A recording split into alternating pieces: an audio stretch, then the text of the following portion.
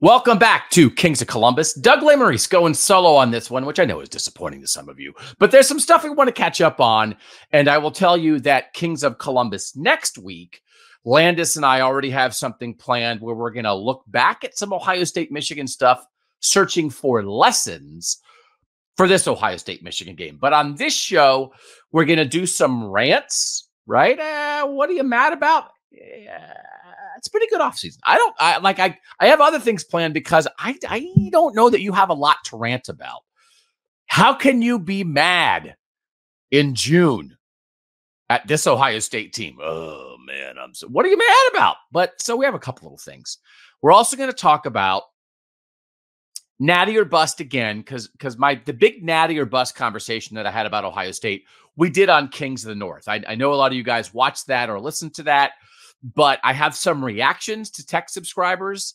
Um, I, I want to get your voices in there. Landis and I also did. I wanted to get Landis's voice on that. We did a little bit of that, but I, I want to hear from you guys. So I have some um, answers from our texters about Natty or Bust.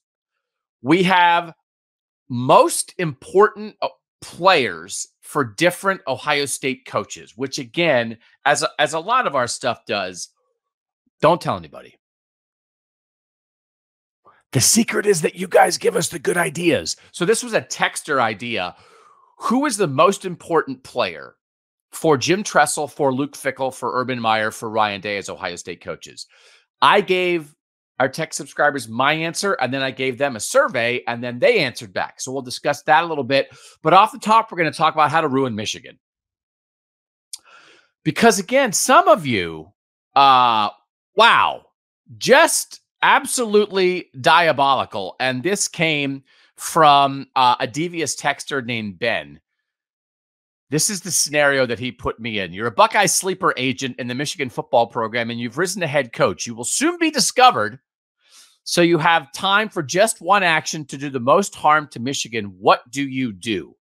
So I think this is an interesting conversation about what is the most important thing to an established football program?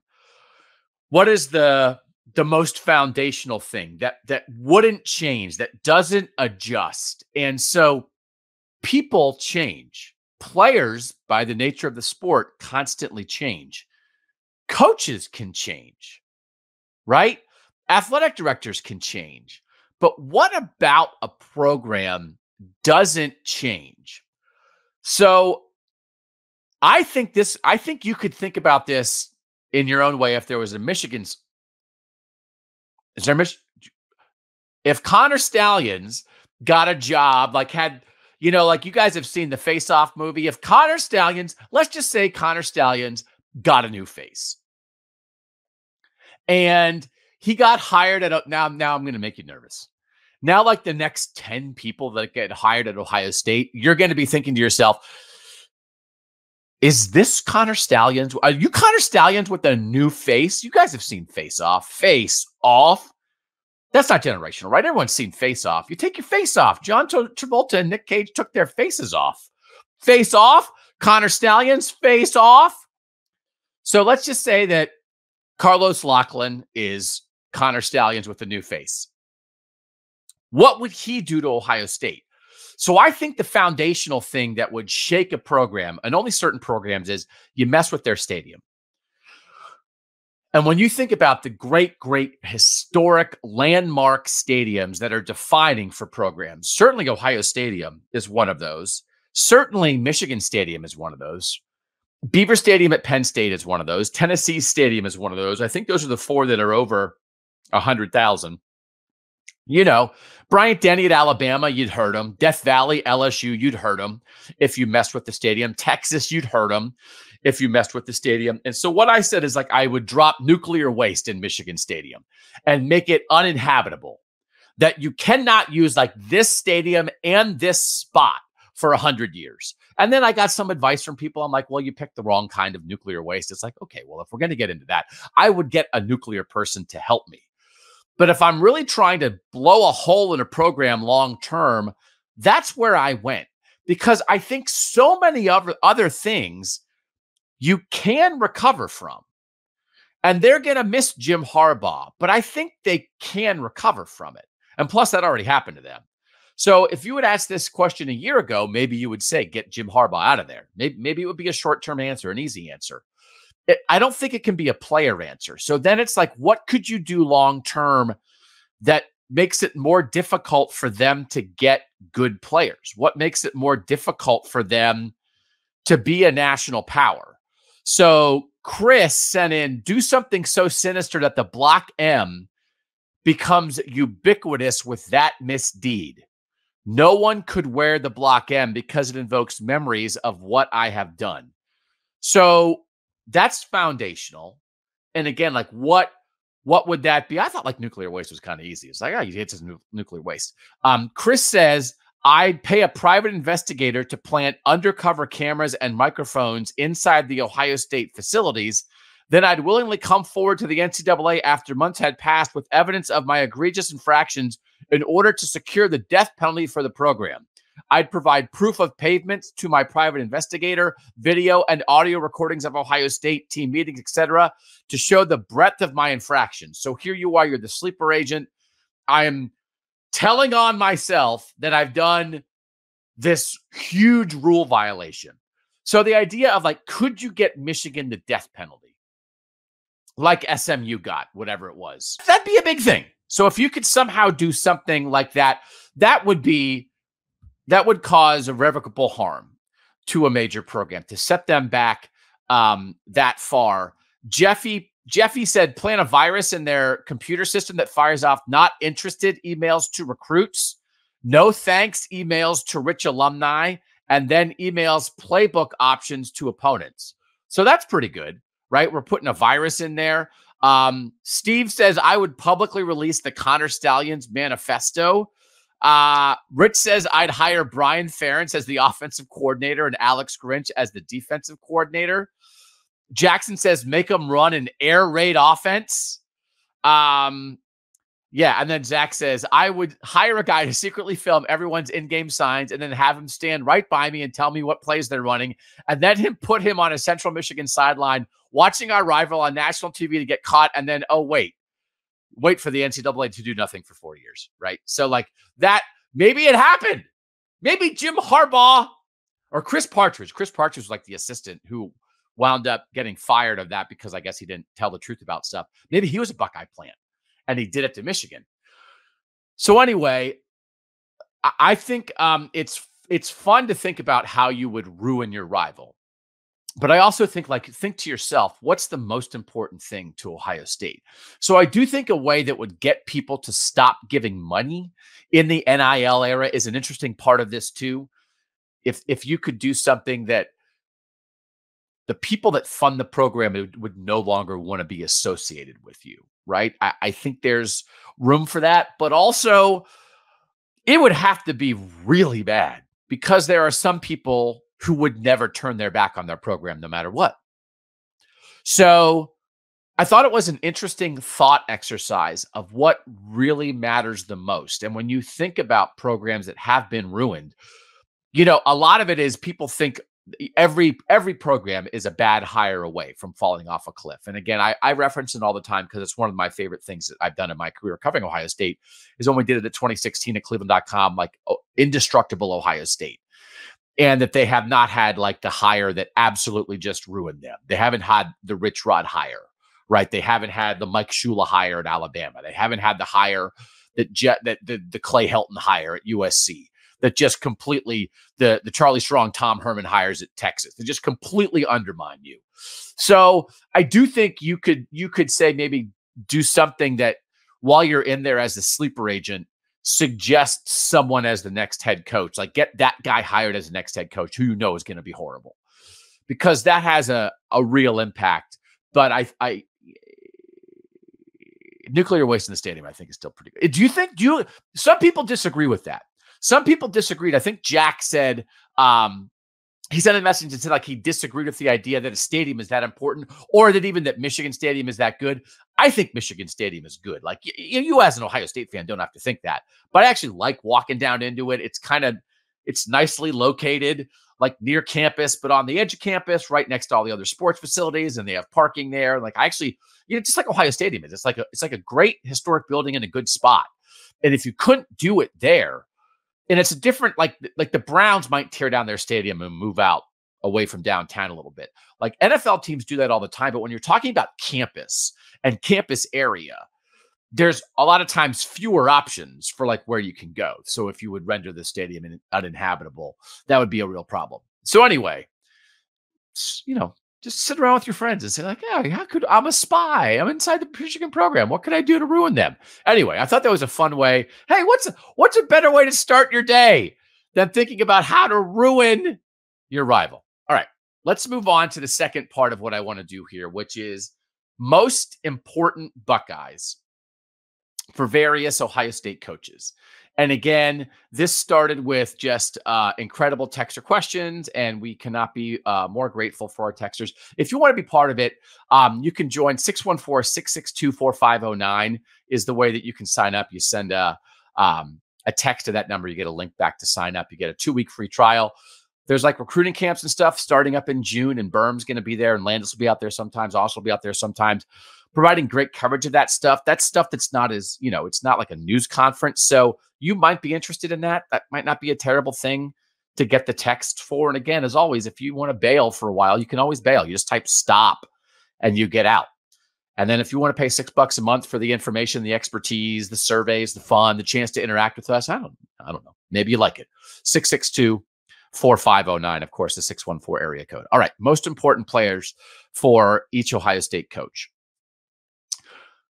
When I thought about the most important player, to me, it's like you're taking that player out and putting in a replacement level player.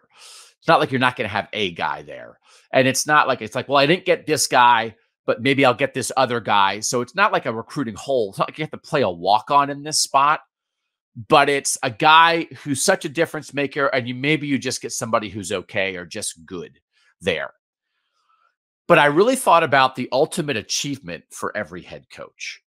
And so for the jim tressel player that was the most important player to jim tressel to me i had to go with someone who helped ohio state win a national title in 2002 because for all of Jim Tressel's success over 10 years, nine and one against Michigan, two other national title games, it would be a wholly different tenure and legacy and reputation if he was not the guy who ended the three decade drought. If you did not have the miracle 02 season that right now, right, it's the greatest season in Ohio State history, all that underdog stuff that bubbled up to beat Miami that way. Um, so then who is most important for that? I said Chris Gamble. The texters were split on the most important player exactly even. 30% said Maurice Clarett and 30% said Troy Smith. Chris Gamble got 9% by the texters. The other options that I gave the texters, Mike Doss got 8%, which I think you can make a case there. Him staying for that 02 year, the leadership, the steadiness he provided, sort of like the maybe the the decision that helped sort of launch that run that Mike Doss is back, right? Is that right? Mike Doss, 8%. Ted Ginn Jr., just, I've never seen anybody like him at Ohio State, 7%. Mike Nugent, nails as a kicker, like super important, 4%. Michael Jenkins, caught holy Buckeye, 3%. James Laurinaitis, three time All American, 2%. Malcolm Jenkins, 2%. Terrell Pryor, 2%. Uh, Craig Krenzel, 1%.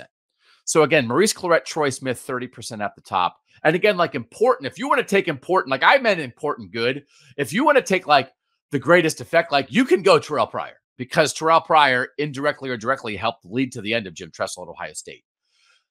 I went Chris Gamble because Chris Gamble playing both ways.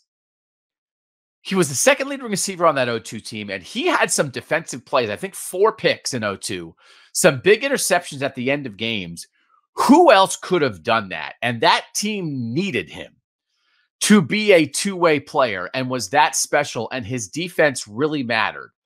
And so I thought it, it would have been almost impossible to find someone else to fill a single player to fill both of Chris Gamble's roles.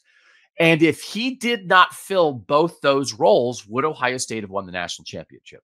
Now, Maurice Clarett, as a true freshman, 1,200 plus rushing yards, the strip on Sean Taylor in the national title game. It's a very compelling case. He would have been my second pick. I, you might be able to coin flip Clarett and Gamble, who's the most important that, to that 0-2 thing. But I, I had to think. I, I think if you're not going to think about 0-2, you're are you willing to give up 0-2 to keep some to keep Troy Smith? Would you give up 0-2? Oh, they like they lose a game along the way. Because if they would have lost one of those games along the way, they wouldn't have been in the national title game.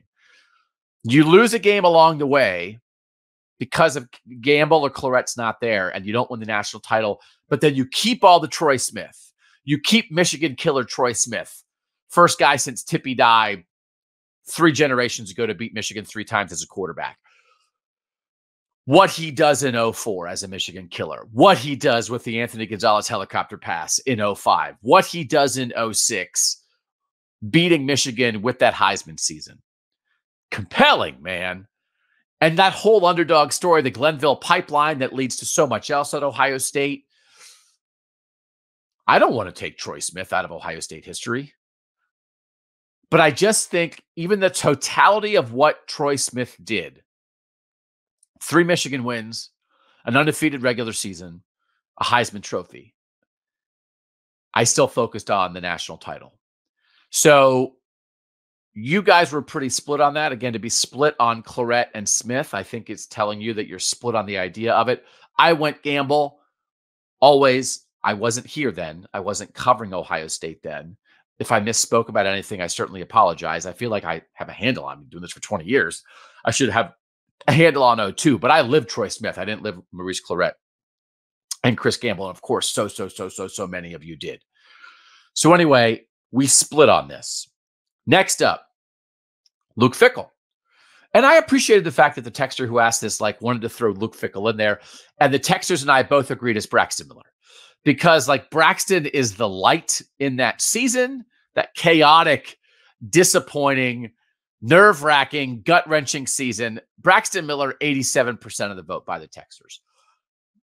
Nobody, I didn't put Joe Bauserman as an option. The other three uh, players I gave the Texters, John Simon, a defensive leader that year, he got 9%. Johnathan Hankins, who's just like a really good defensive player and had been, you know, as impactful as sort of an in- interior Ohio State defensive lineman as anybody in a very, very long time. He got 2%. And Christian Bryant, who was just a, a baller that year, like was really awesome. And then like you saw right the next year, um, when Urban Meyer gets in here, and then in 13, when they get to the when Christian Bryant gets hurt in 13, you see how valuable he is. He was really valuable in 11, though, too. But I think it's clearly Braxton Miller. I don't think this is a very long conversation. Braxton gave you hope, and Braxton has has um, revealed that he's going to be part of the Ohio State Hall of Fame induction this year. I, I think I think in my time here, and I think I've said this before, I think Ted Ginn Jr. and Braxton Miller stand alone in terms of wow plays, in terms of I've never seen that before, in terms of guys that you just can't wait to see what they do next, in terms of guys that just make you feel good, that have make you want to tell stories to your friends that make you not want to miss a game because you don't want to w- miss what that might that guy might do. To have that at quarterback as everything else was falling apart, that Braxton stayed and that Braxton showed you like, okay, you didn't know Urban Meyer was coming. You didn't know what the future held, but he was the light and he wasn't at the end of the tunnel. He like came out of the tunnel holding the candle and said like, follow me follow me into the future. And so to think about that in 11, um, in the most difficult season that Ohio State fans have experienced in, you know, since since Cooper, right? Um, what a gift. What what a gift he was to the fan base. And so I know a lot of people will be excited about the Hall of Fame weekend. Um, I'm sure the reception that he's going to get at Ohio Stadium as a Hall of Fame inductee will be amazing. And I, I think he just occupies such a rare and interesting and important place in Ohio State history. And again, I I've said it before. I just, I, I sometimes when I watch Lamar Jackson in the NFL and I think about, you know, what Lamar Jackson has done is amazing. And, and I don't know if Braxton would have gotten there. And, and I think that like, questions about like Braxton as an NFL thrower and all those things. But that skill set of a guy who can do things that nobody else can do, you throw it well enough, you get him in a system that takes advantage of his strengths, man. Um, I think once Braxton moved to receiver, the athleticism isn't as rare. And he just had not played the position his whole life, as, as every other receiver in the NFL has done. They've been making catches and finding ways to get open and playing in traffic since they were 10 years old. And that wasn't Braxton's reality. So, but I always think it's tough when you when you have a guy who is athletic enough to play another position, but then the athleticism at that position does not stand out in the same way. And so in a healthy world, he might have made the switch anyway, but in a healthy world, I would have been fascinated to see Braxton Miller take a shot at quarterback in the NFL. But I think clearly he's he's the guy here for Luke Fickell. All right, Urban Meyer. The most important player for Urban Meyer, again, I think has to relate to the 2014 national championship team, which means the guy who finished second on this list, like, is certainly part of that, but it's why I didn't pick him. So JT Barrett got 29% of the vote from the tech subscribers as the most important Urban Meyer Buckeye. I love, and I've written, and we've talked about a lot, like when you have a quarterback who's the first quarterback that a new head coach goes and recruits himself and the first guy that he targets and lands, and it's like, okay, this is my plan for the future. And JT Barrett was that for Urban Meyer at Ohio State, just like Tim Tebow was at Florida. We've made that comparison a million times. If you're talking that way, if you're talking JT stepping in and keeping the 2014 season alive after Braxton got hurt in the preseason, when you maybe thought that season was headed off a cliff. And then what he did in 15 and 16 and 17 and a four year period where he matters that much. And even though he's not there, for, I'm talking myself into this, even though he's not there for the playoff run, he keeps you alive. He gives you the chance to make the playoff run because if he had not been ready as a redshirt freshman who's coming off his own ACL injury from high school and didn't do much in 13, if he had not been ready for that, oh man, how many redshirt freshmen are ready? JT's ready. Man, it's a case. It's a case. JT perpetually underrated, perpetually difficult to talk about. You wind up discussing more of what he's not and not enough of what he is and what he was. Undoubtedly was a winning quarterback. And 2014, as a young, confident leader and winning quarterback who learned on the fly and kept you in it, you can make that case. But he's not there for the playoff run. And what happens in the playoff run? Zeke is Zeke. So we all agree on Zeke here. I picked Ezekiel Elliott and the Texers picked Ezekiel Elliott. 40% of the vote for Ezekiel Elliott as the most important player in Urban Meyer's tenure, 29% JT Barrett. Cardale Jones third at 9%, which we know what that case is. If you have any other third string quarterback who's not ready for that, that can go down the tubes. I guess if you're asking yourself, who would you not want to lose in the playoff run? Would you be willing to take out Cardale and maybe you're in like a Jalin Marshall being the quarterback kind of world where you're handing it to Zeke all the time? Or would you want to take Zeke out of there and be like, we've got another running back here? I still think you wouldn't want to lose Zeke, right? Whatever it was, 700 plus rushing yards in those three postseason games. But we know the Cardale case. The Vonn Bell case is interesting. 7% for Vonn Bell because Urban's made this case.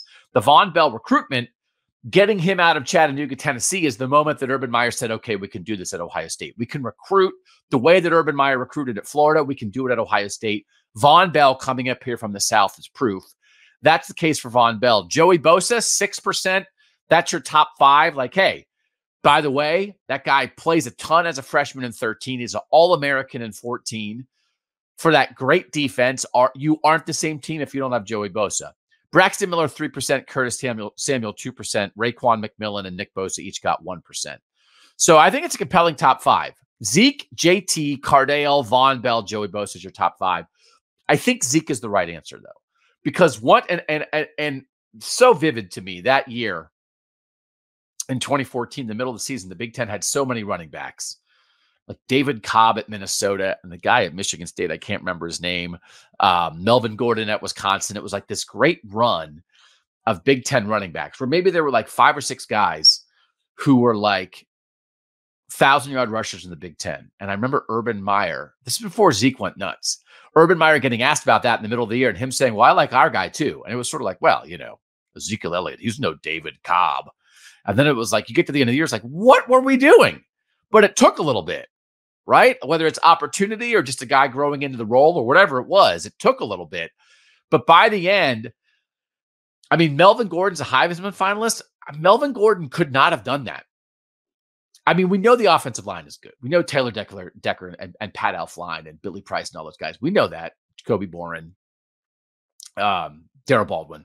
We know that. It's a really good offensive line by the end of the year. But not not every back would have done that. So I think Zeke is special enough and enough of a difference maker on a national championship team in the in the postseason that I would go Zeke over JT, the length of JT, and I would go Zeke over the three game run of Cardale. Now, if you meld together, right, if you take Cardale's three game run and JT's four years, if JT had stayed healthy and just done what Cardale did, maybe chucking some deep balls. And it's one of those things, again, people forget that JT did chuck some deep balls to Devin Smith. Devin Smith wasn't like Cardale Jones was the first guy to be like, hey, this guy's pretty good down the field. Maybe I should throw it to him. JT did that too. So if JT had just stayed there, I think you maybe, maybe it would be JT.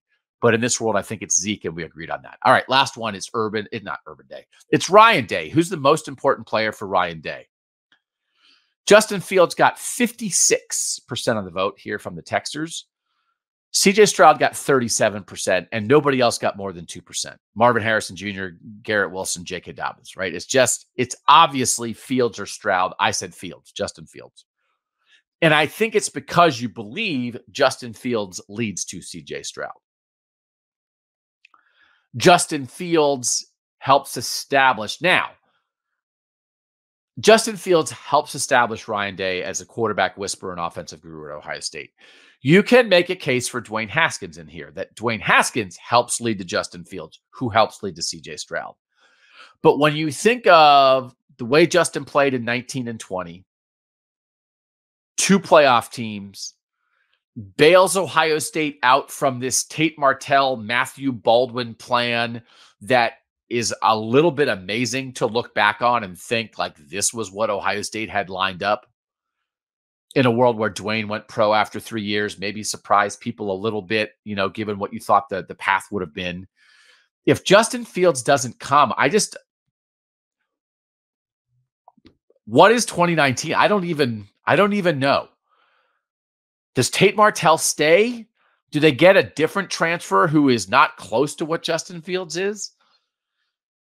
This is another rare guy in terms of, of the complete package of what he was athletically as a thrower, athletically as a runner, as a physical presence, as a tough guy, as a leader, all the attributes you want in a quarterback.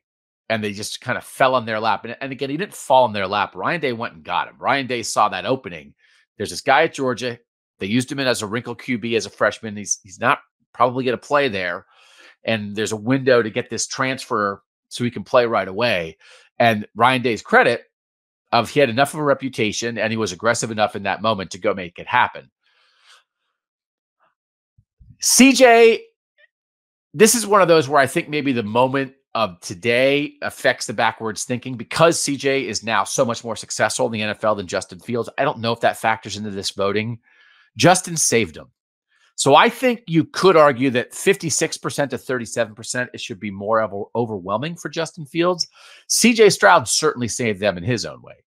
That you think you have Jack Miller lined up, you think you have Kyle McCord coming the next year, but then you add CJ Stroud as the second quarterback in that class with Jack Miller. And if you didn't, and you had had a Jack Miller Kyle McCord quarterback battle to be the starting quarterback, in 2021 and 2022, like again, knowing how it worked out in 23 with Kyle McCord, like what would that have been like? And that CJ's at the Elite 11 with these Ohio State receivers and gets this late offer. And like he could have been like, ah, it's too late. You guys are too late on me. I'm not doing it. That's possible. That would have been possible. He absolutely could have said it's from California, late in the process in California. And he's like, yeah, I'll come do it. both really strong contenders. But Ohio State was more established by the time CJ made his decision. There was a lot that that Justin Fields there maybe weren't guarantees. So I think Justin Fields is the right pick here. CJ's a strong case, but I think it's Justin Fields. So again, most important Buckeyes. You guys said Troy Smith and Maurice Clarett tied. I went Chris Gamble for Tressel. We agree on Braxton Miller for Fickell. We agree on Ezekiel Elliott for Urban Meyer. And we agree on Justin Fields for Ryan Day. I think this is like a fascinating conversation. I would do this with every head coach in the last 40 years. Who's Nick who's Nick Saban's most important player? That's a fascinating discussion. I don't know enough about it off the top of my head to have it.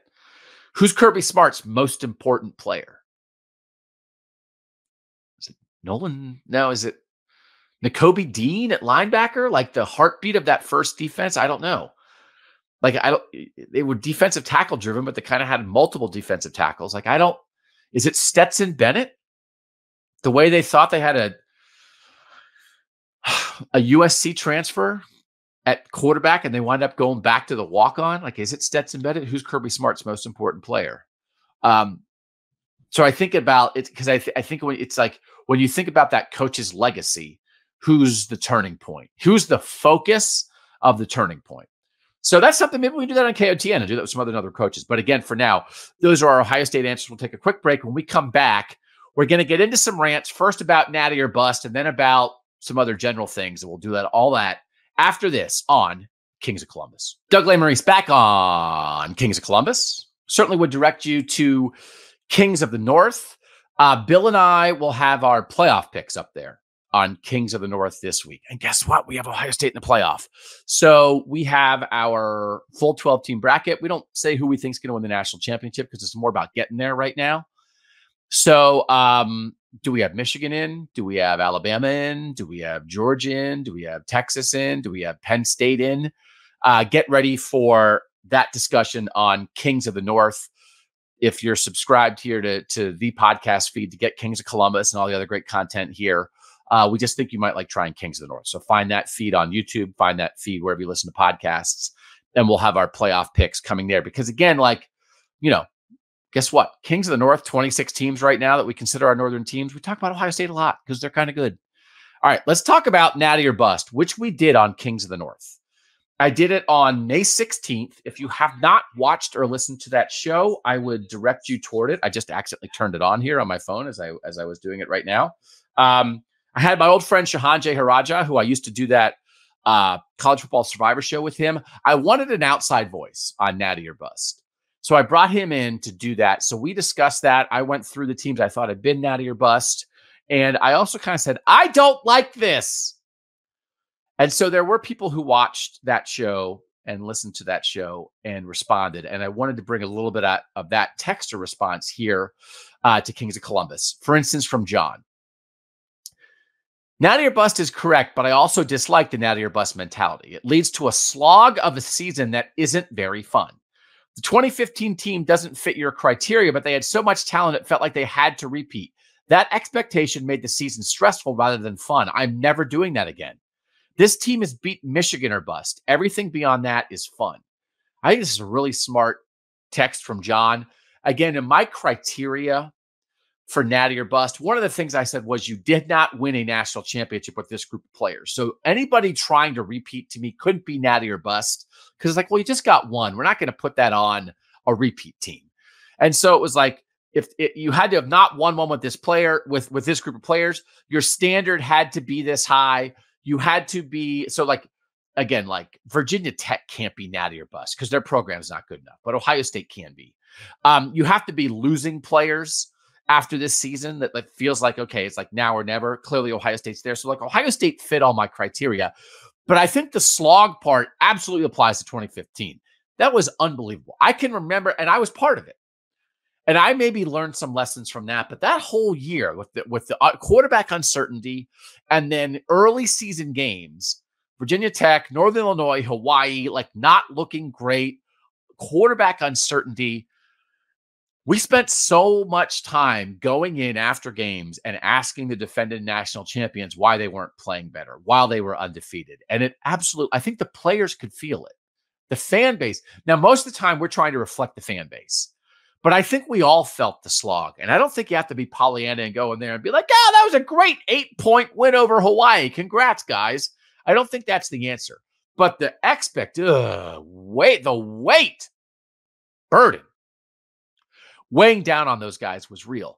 But I really, I think it was they're so talented. We know they can do it because they just did it. And practically everybody that matters is back. I think that's different because, like right now, you like you think Ohio State can do it because they have good players. You don't know they can do it because they haven't done it.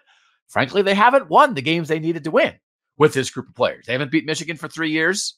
They didn't beat Georgia in that semifinal, like little lousy bowl game, which for a lot of different reasons, but that that's still a fact.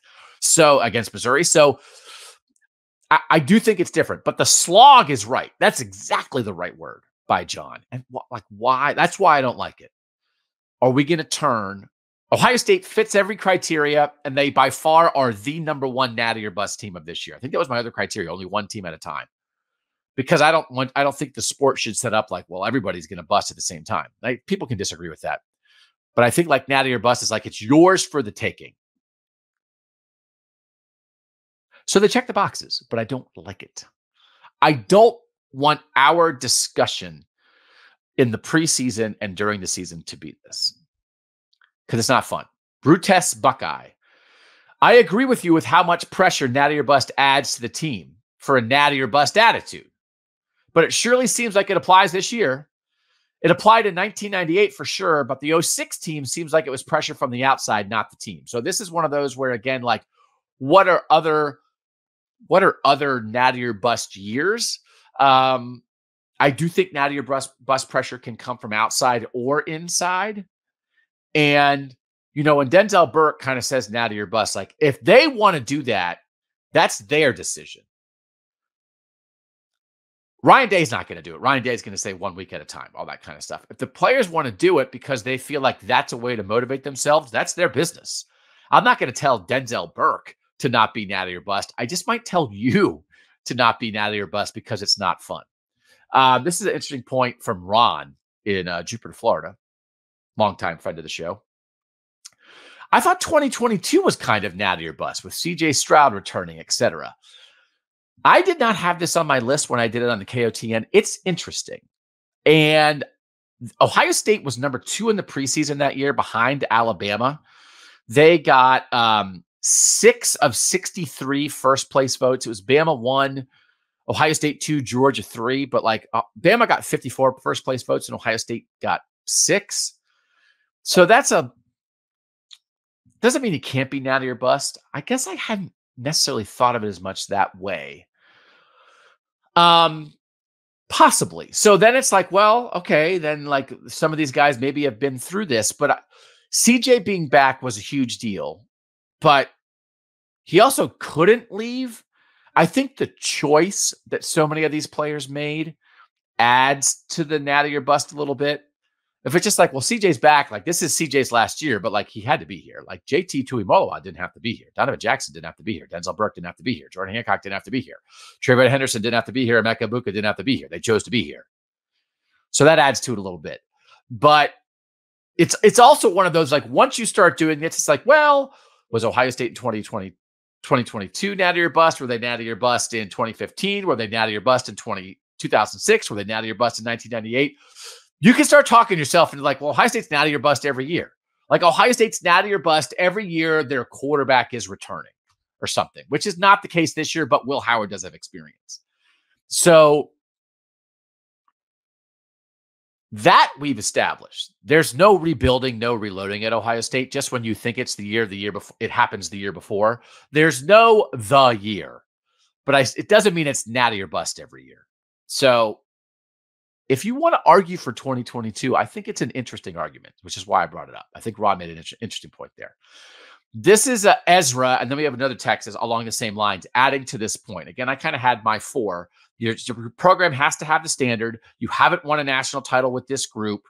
Um, guys are leaving after this year, and you're the one team for this year that it applies to. Those are my four. Ezra says, I think it's natty your bust this year. I like your criteria, but I'd add where Ryan Day is as a fifth reason. lost to his rival three straight years, doesn't have a title in his tenure, and now he has Saban and Harbaugh gone. Nearly the entire excellent 2021 recruiting class back and added some very high impact transfers. To me, it's almost a question of if not now, then when. I'd still revel in a Big Ten title, especially a win over Michigan. But if they fall short of the championship, then it's a disappointment and a ding on day, in my opinion. So this is similar. This is from Joe. This is absolutely a natty or bust season. I think another of the criteria is the coach having a prove it season. Coop needed it. Tress needed to do it. Needed to do it again to prove 2002 wasn't a fluke. Tress recovered from not getting it done, I guess, in 06 and 07, but Cooper never did. Again, 98, probably the best example, but 96, close to it, right? Day needs this to prove to everyone that he is the coach that we hope he is. So I do think that's interesting from the standpoint of if it applies individually to a coach, would your fifth criteria be your coach doesn't have a title?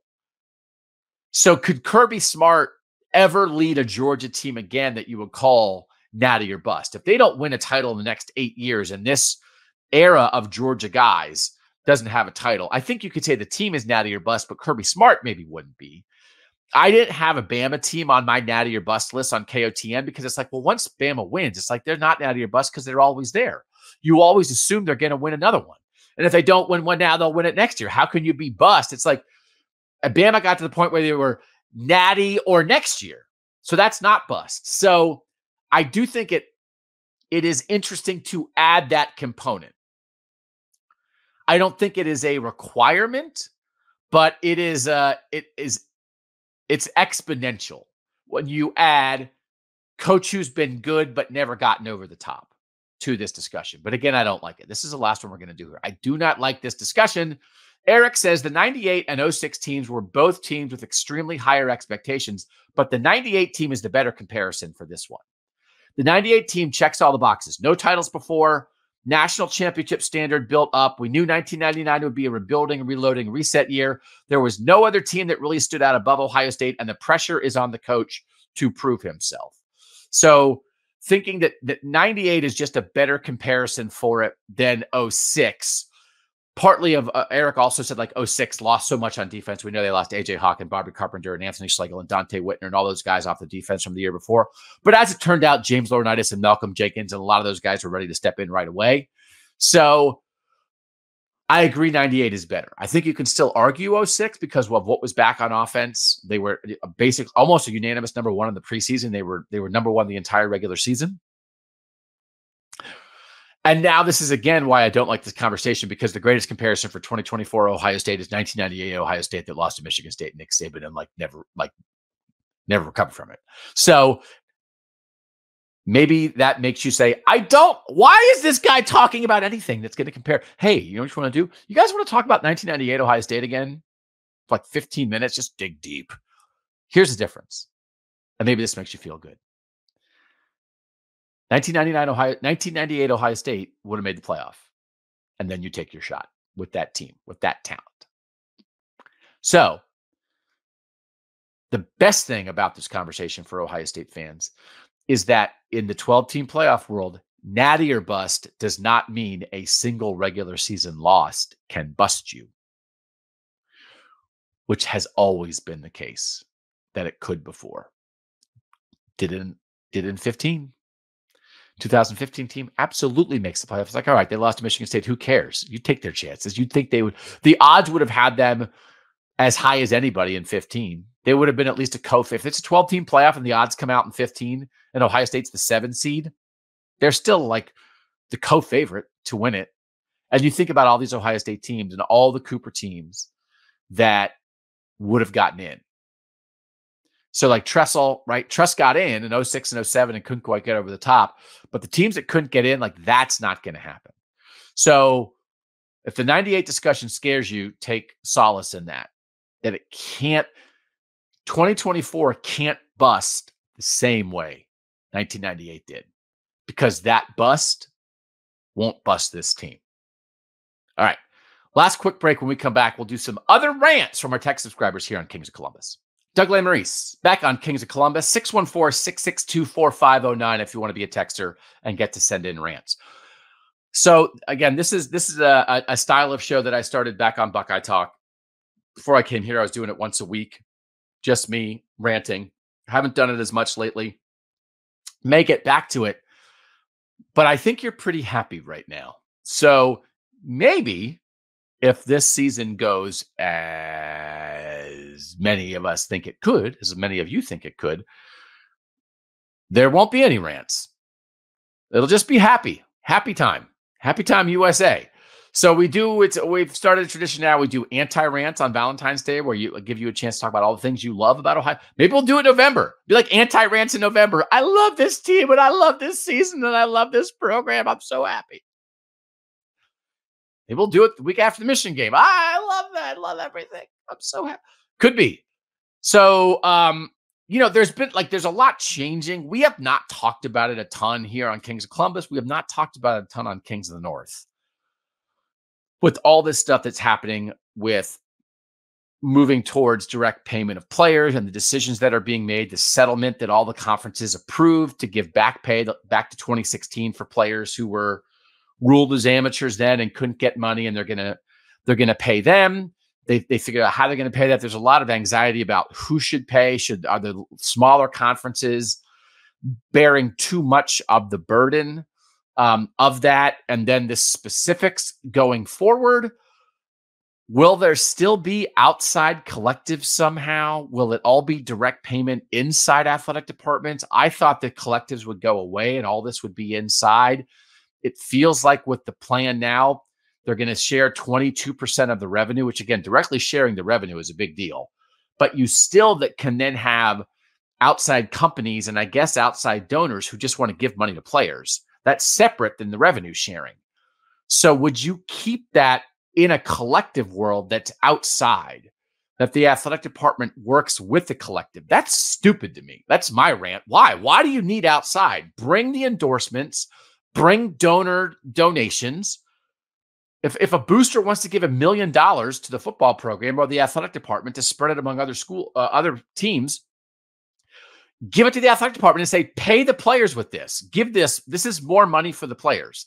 And if the limited or buffalo wild wings or whatever wants to have a, a, a an agreement with emeka egbuka to be a, a guy for them i don't think the athletic department should like get a cut but let the athletic department facilitate it or, or, or be like the some kind of middleman um, or or just let the player do that on his own. The player and his agent can get the wings endorsement. Just do that. But why are you going through a collective?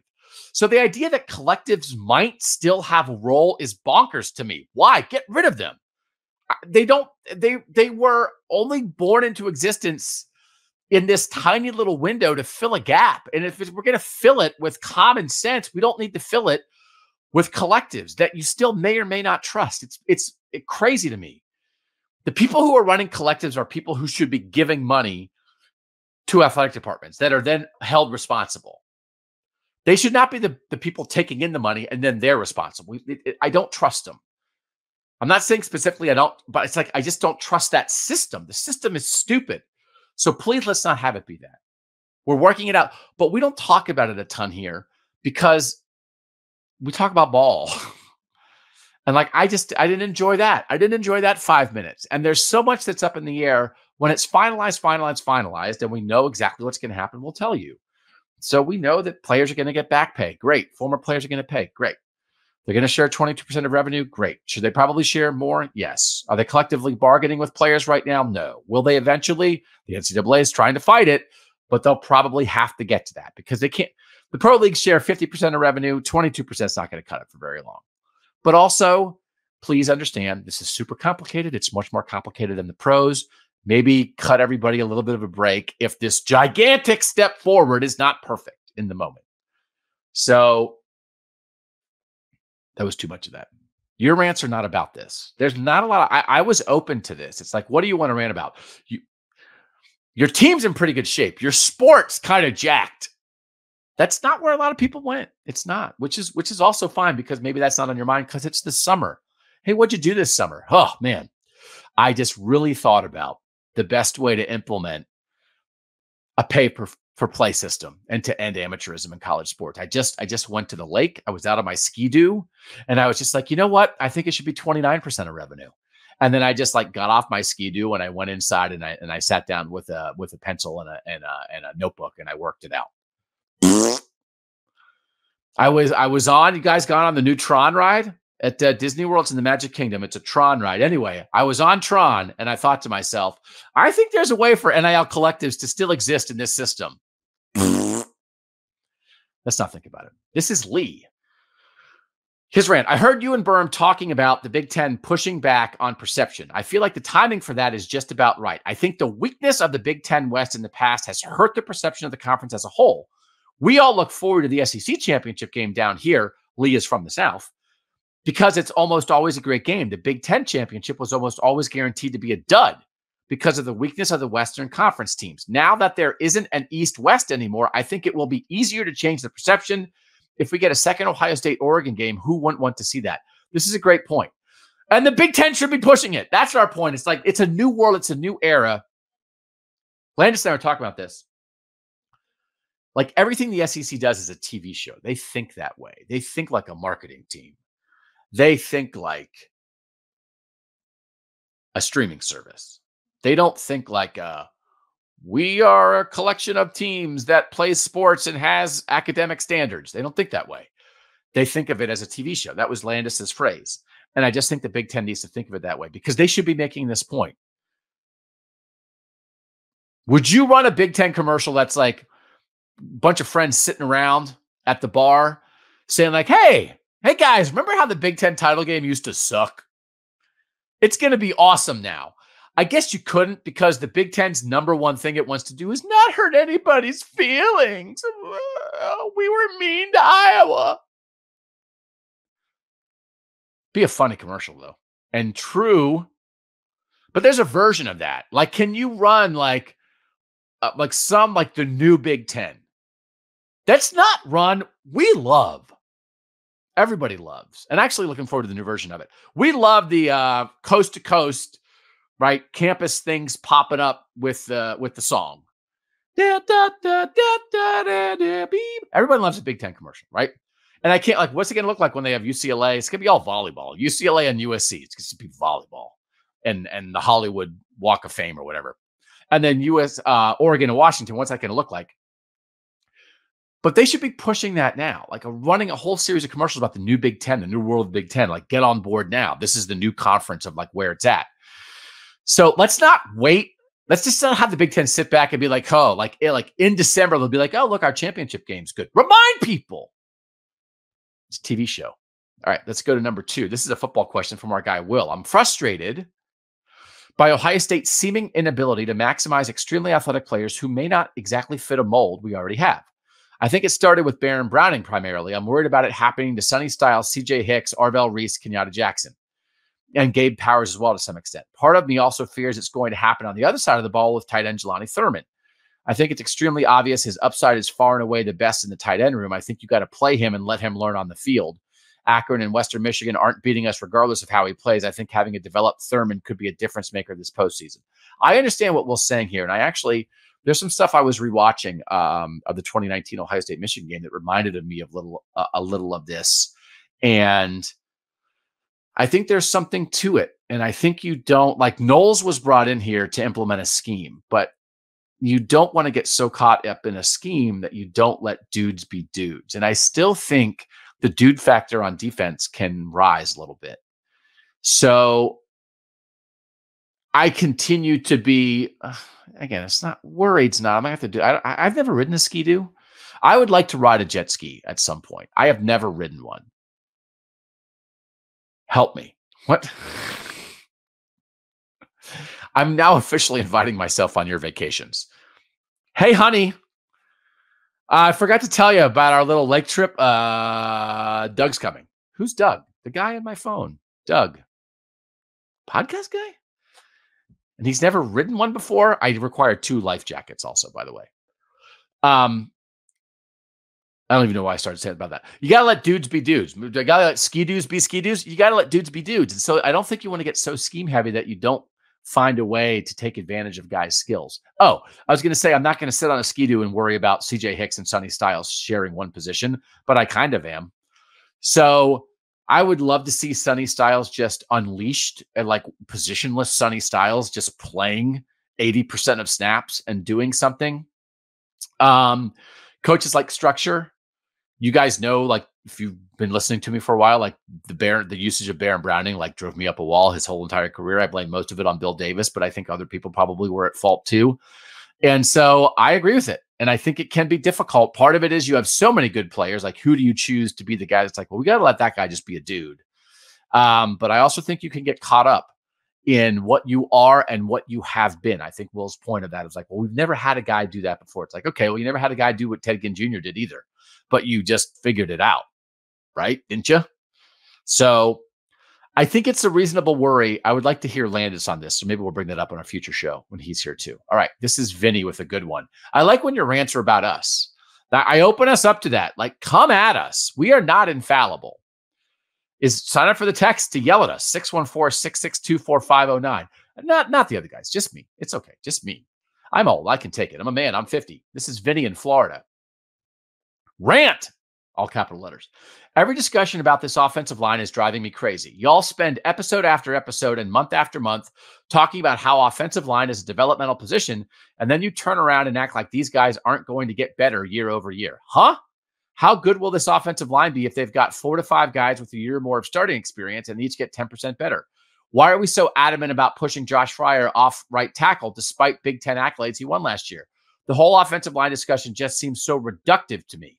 Like I get it, a golden goose portal tackle could have been could have um, helped, but in any other area of college football, I think we'd feel pretty good about this offensive line heading into the fall, right? If you didn't have a portal where you could have been hoping for a guy, only replacing the right guard from a line that wasn't perfect, but wasn't Swiss cheese either. This is Vinny in Florida. This is a good rant, Vinny. Um, for me, it's about the Ohio State standard. And so for me, by the way, they did go get a center. They went and got the Bama center who couldn't snap and the last time you saw him play. Like the the the the, the, the defining story of the Alabama Michigan semifinal was that the Alabama center had huge snap problems and he's now Ohio State center. So like that, you know, I, I just to remind everybody of that.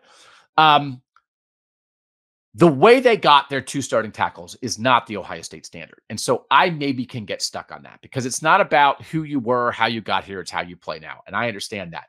I also like Paris Johnson and Taylor Decker and Nicholas Petit Frere and Thayer Munford and like guys who like, so like neither Josh Fryer nor Josh Simmons was a plan right? To say that you're going to go get the San Diego State right tackle and make him your left tackle just is not the plan.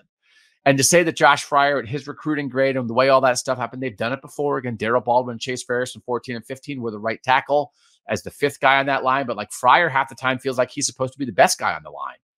And he's just like an underrated, like long-term guy who developed. Well, that shouldn't be your best offensive lineman at Ohio State. And, and Donovan Jackson's a five-star, three-year starter who should be your best offensive lineman this year. But anyway, maybe I'm stuck on that.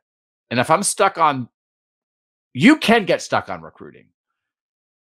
And like five years into a guy's career, be like, I don't know, he was a three star. It's like, what's the point? Who cares? So that's part of it, and, and I'll take that. That's a fair critique of the, of the way I envision this. So perhaps I'm, I'm stuck too much on still like sort of trying to blame Ohio State for like, uh, you better hope this works out because your plan stunk. How to bring this line together? Alabama transfer at right guard, Two right tackles who, in most Ohio State era, this is not how you get tackles. Left guard fits the bill, and then you don't know who the right guard is right now because you just went through spring practice and nobody claimed the job. So, yeah, they should be better. But still, when you think about the precision in which almost every other part of the team is planned, this is what we're doing on the defensive line. We got the recruiting back in the secondary. This is what we're doing at cornerback. This is what we're doing at receiver. We had TreVeyon Henderson at running back, and we added Quinshon Judkins right? Like the, the two places where right now where there's not a specific plan that was set in motion years ago that they are following. The two places that's the case are quarterback and offensive line, which are the two positions we talk about. So I love process in anything. I would rather watch a movie about a movie being made than watch the movie itself. So I might get too, I love roster building. It's my favorite part of pro sports is roster building. I might be too caught up in the roster building of this Ohio State team, and I admit that. But I also give, and I'll give Vinny the the the correct um, idea that like they should be better. So it's a good rant, Vinny. Thanks for bringing it at us.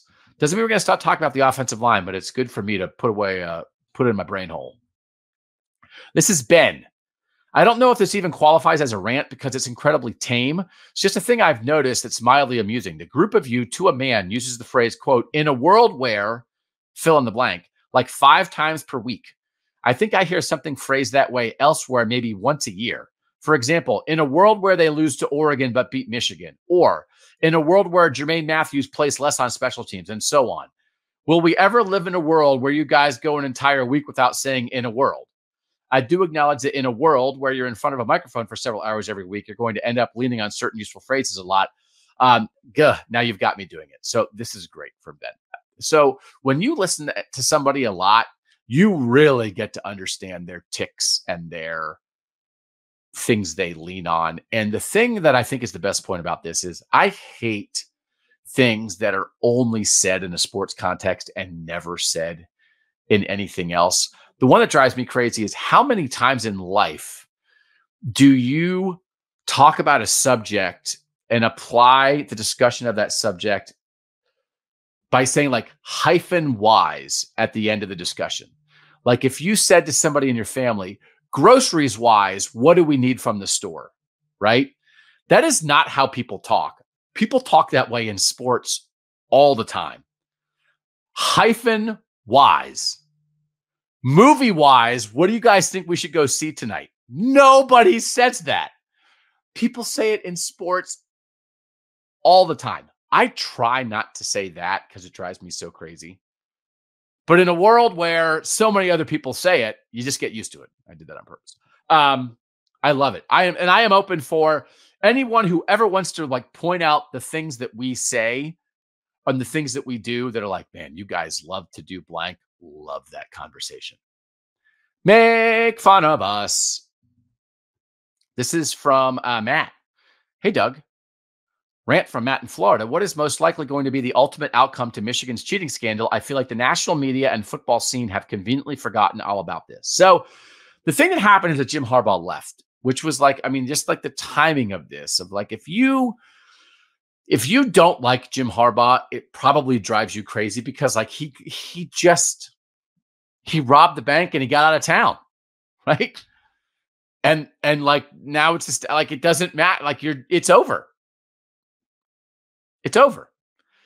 He came in, this guy, he came into town. He took off his shirt. He lived in a tree. He slept over at a teenager's house. And then four years later, he robbed the bank and left. And you can't catch him. So that's what happened. And that's why it's largely out of mind, I think, of the discussion. And also, it is the glacial pace of anything with the NCAA and it's one of like justice delayed is justice denied right? There's a point to this that it's like i mean i guess you know you want you want it to be thorough. And if it winds winds up that michigan gets severe sanctions that penalizes the program with scholarships or postseason ban or anything down the line that will be felt. But like they're not they're not bearing any brunt of their actions at the moment. And and so like again I, I want to talk about this consistently, whether it's on a KOTN show that appeals to a northern audience, which includes Michigan fans, or whether it's a Kings of Columbus show that's just Ohio State fans. I think Michigan was helped by the Connor Stalions cheating.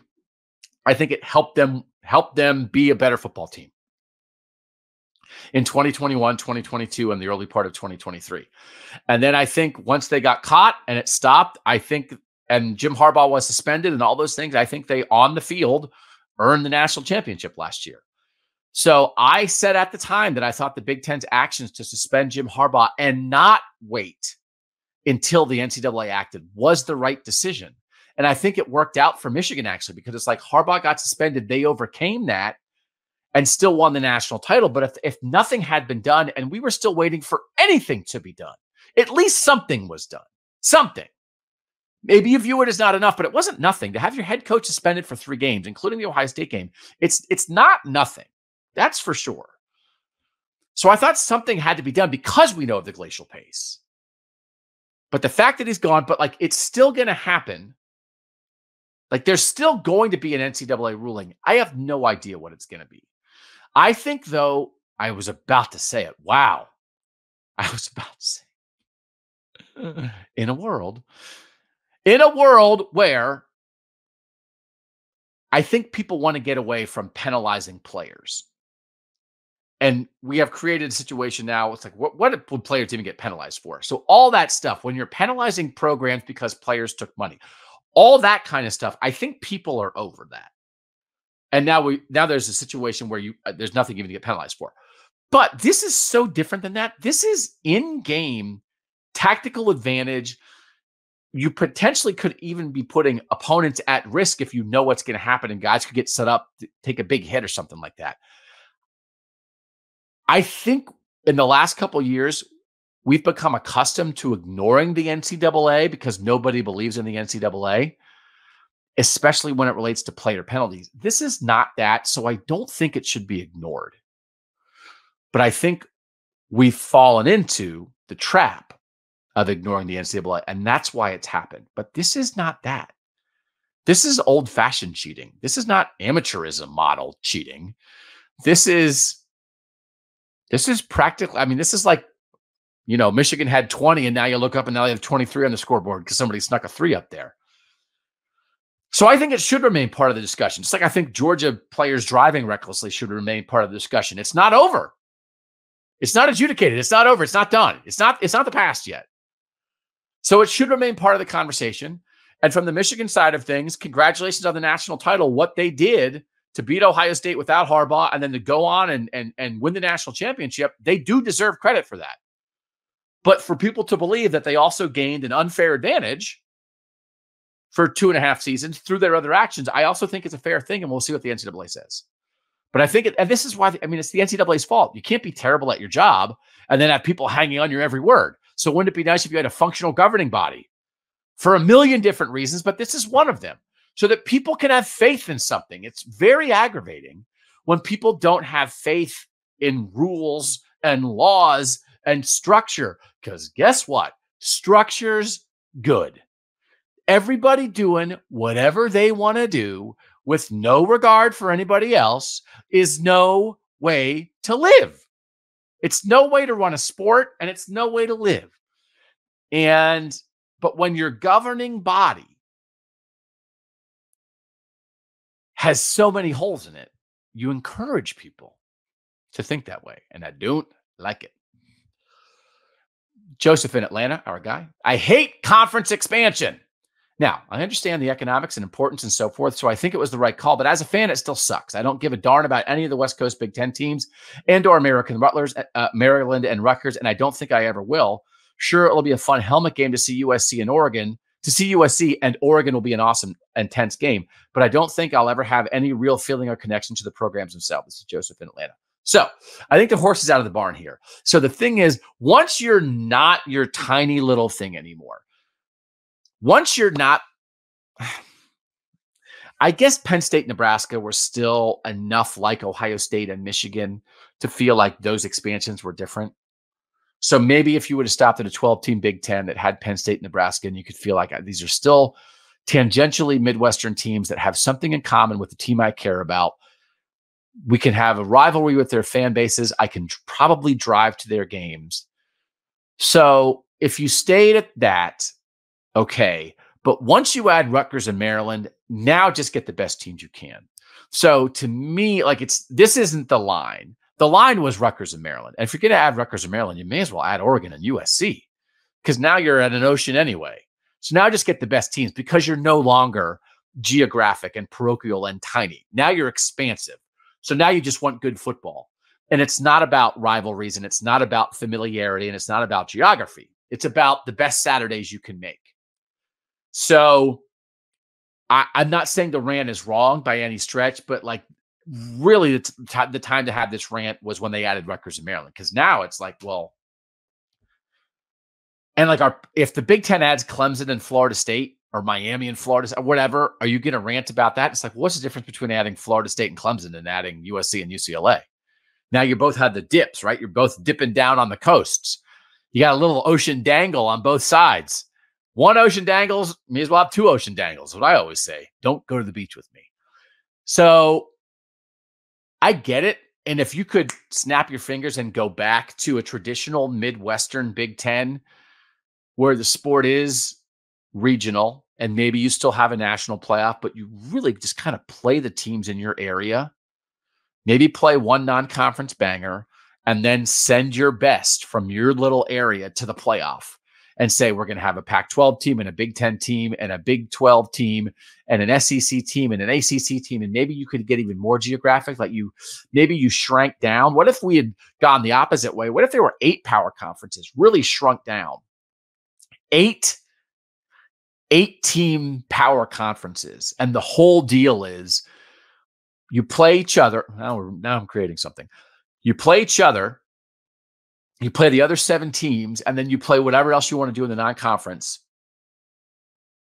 And then you play a conference title game or not, however you determine a champ, determine your champ, and the playoff is the eight champs. And that's it. And it's geographic. There's something to that, but that's not where we are. So if you're going to have conference expansion, my main thing is you've already started, you may as well keep going. All right, last one. This is, oh, no, not the last one. There's two more. This is a rant from uh, DLGD. This is off an Apple story that just came out. This is one of those things like people make a list in the summer because they're desperate for content and they're terrible at it.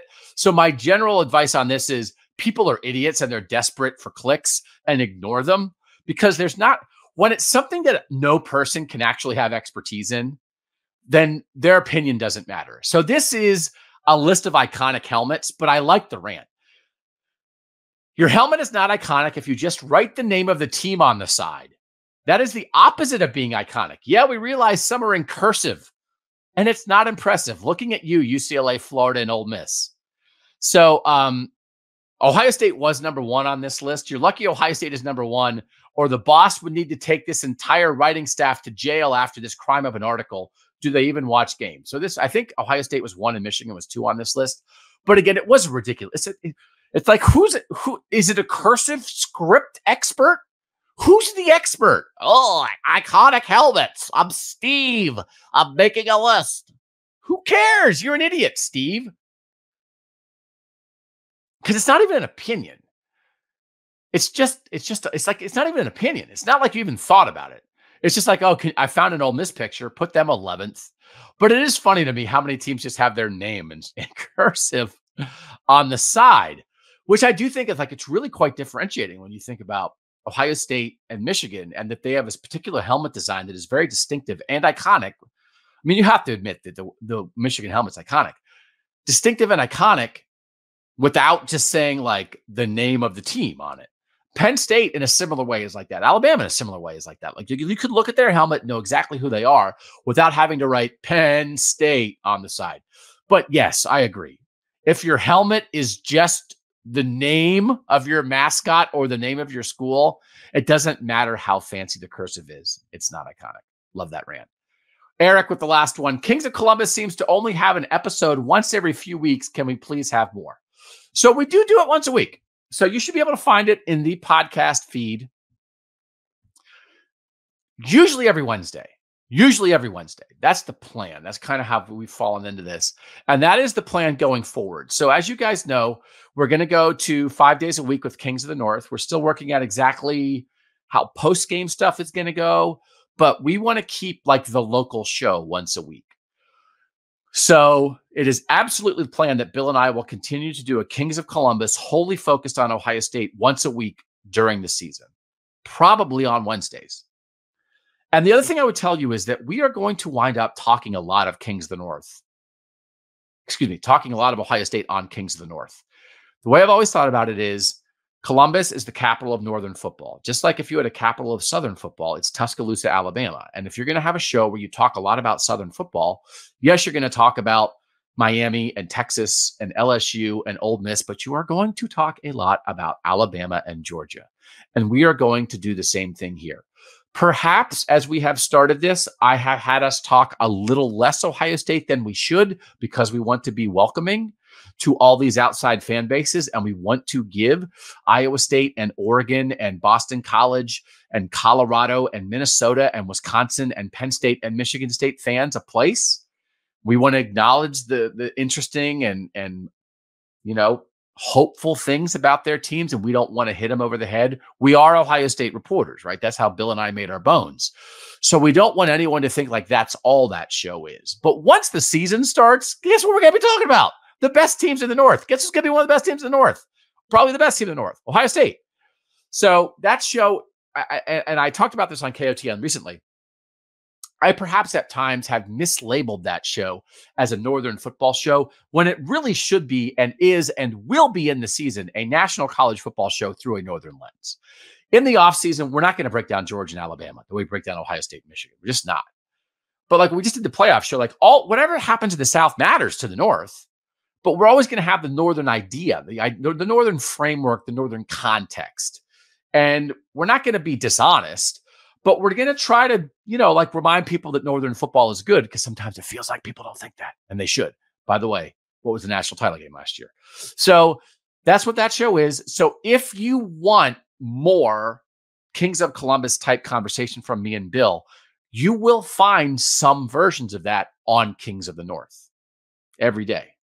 You will. You just will. But you also will find it on Kings of Columbus once a week. Okay? Thanks to you guys for uh, making this part of your Ohio State fan experience. We're so grateful here at the podcast for everything that you guys make possible for us. Um, you know, we'd be nothing if you guys didn't tune in, whether it's on YouTube, whether it's on uh, podcast feed. And um, we just feel like we have some cool stuff coming. We're still growing, we're still changing, we're still evolving, we're still trying different ways to bring you the best coverage possible certainly of Ohio State football, and then with what we're doing on Kings of the North of Northern football in general. Uh, in in general, um, want to say congratulations to our producer Mike Yorstowski, who is recently married. Mike, pop in here. You're you're a married man now. Are you mature? Are you uh, wise? What does it mean now that you're married? Yeah, I'll tell you what, Doug. It uh, it means a lot. Uh, yeah, thank you for saying that. But no, it was a great day. Uh, got married on June 1st to my beautiful wife, Allison, and uh, it was everything we could have imagined and more. It was uh, it was a great day, uh, surrounded by our friends and our family, and perfect weather and everything you could imagine. So uh, I'm a married man now. So look at that. Look at that smile. Look at that yeah. smile. So it's hard not to. You know, I got a beautiful uh, wife now, and who's the best woman I've ever met in my life. So uh, I'm, I'm, we're really excited you'll be beaten down by life. Yeah, you're making me start crying again. I'm emotional yeah. guy. I cried too much on Saturdays. You oh, start crying again. I love it. You gotta cry. You cried at your wedding. I cried at my oh, wedding. Yeah, totally. I cried you like cried? a baby. Yeah, I oh. cried like a baby. I yeah. love male emotion. Oh God, give me. yeah, I took, I took a lot of heat from it from my from my friends and my family, but I'm like, you know no. what? What do you want? I love love. So. No, I am much more a happy crier than a sad crier. Yeah, like I am like a happy. I'm the same way. Yeah. Yeah. So I see no, people I, happy and uh, filled with emotion that they're really happy yeah. about. Yeah, it brings a yeah. smile to your face. Yeah. No I cried in my vows. Did you cry in your vows? Yeah, yeah. So yeah. that was oh. uh, that was uh, we wrote our own vows, so that was uh that was tough to get through. It was uh oh man, a lot of pausing, but uh no, it was good. Love it, it. was great. Yeah, love it, love it. Well, congratulations, of course. Uh, Mike Mike makes everything run here for us at Kings of Columbus and Kings of the North. So we'll be back next week. Landis and I will be talking some lessons from 2019 Ohio State, Michigan. Find us on Kings of the North for now. He's Mike Yorstowski. I'm Doug Lesmerises, and that was Kings of Columbus.